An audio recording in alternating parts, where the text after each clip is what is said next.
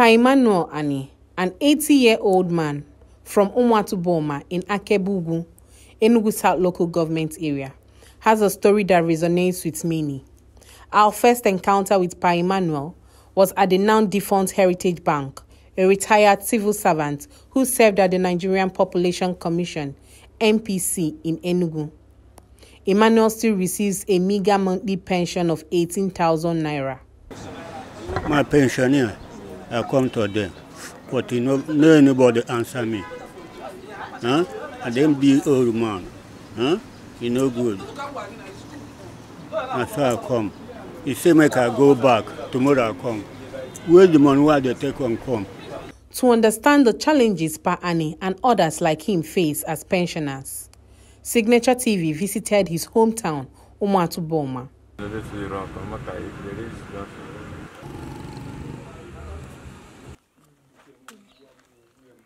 We are here with Mr. Ani Emmanuel, a man whose resilience and dedication has been tested. Aramorono National Population, NPC. Hmm? I worked with National Population Commission NPC in Enugu. I started earning 18,000 naira only as pension after I was forcefully retired. I only worked for 15 years instead of 35. The money I'm being paid does not sustain me. I have five children. The money can hardly sustain us. Hmm? In a country like Nigeria, where social security is absent and a man's children have become their insurance in facing the vagaries of retirement and old age, Pa Ani's story is really a sad one. Having lost some of his children and the surviving ones still struggling with their careers, he faces the dual challenges of old age and being the sole breadwinner for his family. My children are not around to take care of me, and my immediate siblings are busy fending for themselves. My wife died two years after I buried my daughter. What I'm struggling for now is how to get money to buy snuff and sell. A development expert and lecturer at the Institute of Development Studies in University of Nigeria, Enugu campus. Ben Nwosu picked holes with the treatment of Nigerian workers, arguing that the plight of pensioners is an invitation to corruption for those in service. People collect finances, buy properties, invest for the rainy day because the government is making that rainy day or the pension manage, fund management system is making that rainy day a fearsome one with the way the, the pension fund of the country is uh, being managed. You want to guarantee that at least when you finish service, no landlord will come and harass you for house rent, and at least you have one additional one where you, where you get money for monthly feeding and then buying your medication if you have uh, medical conditions that require uh, such attention. So it's a unique way of hiring corruption to work for the society, and that's quite unfortunate. Is there any avenue for pensioners to seek redress? Professor Nkechi Okbalobi teaches law at Nnamdi Azikiwe University in Awka. Yes, they have a right.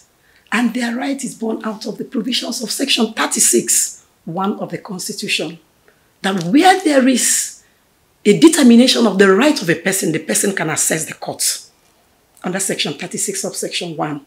Then if you move further, under Section 16.2d of the 1999 Constitution as amended, you also see that pensioners have a right there under that provisions of subsection D, where the law states that you must take care of them, their old age, their pension. They can ventilate their grievances before a court of law.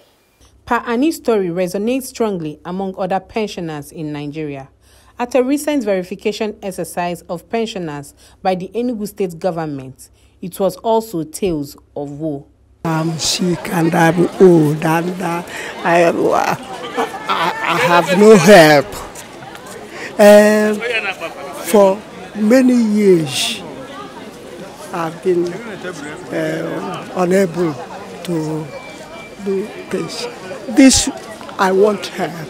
My, my problem, my immediate problem now is to pay me my my gratuity.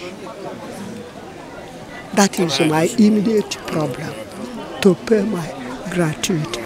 My brother, my brother, yes. He, he, he was paid few months, few months before he died. He died uh, 18th January 2015 and it, the, the, the pension was stopped 2015 August. To, to continue the pension, if they can pay the gratuity, good and fine. Because the children are suffering so much.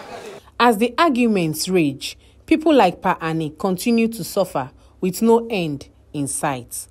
Um, many people have been known to die waiting for their gratuity.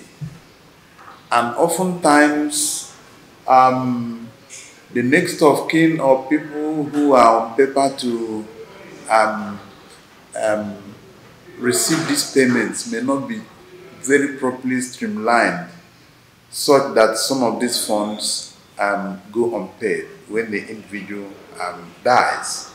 Uh, 18,000 naira, strictly speaking, cannot, you know, if you're very conservative, it might just serve you for two days.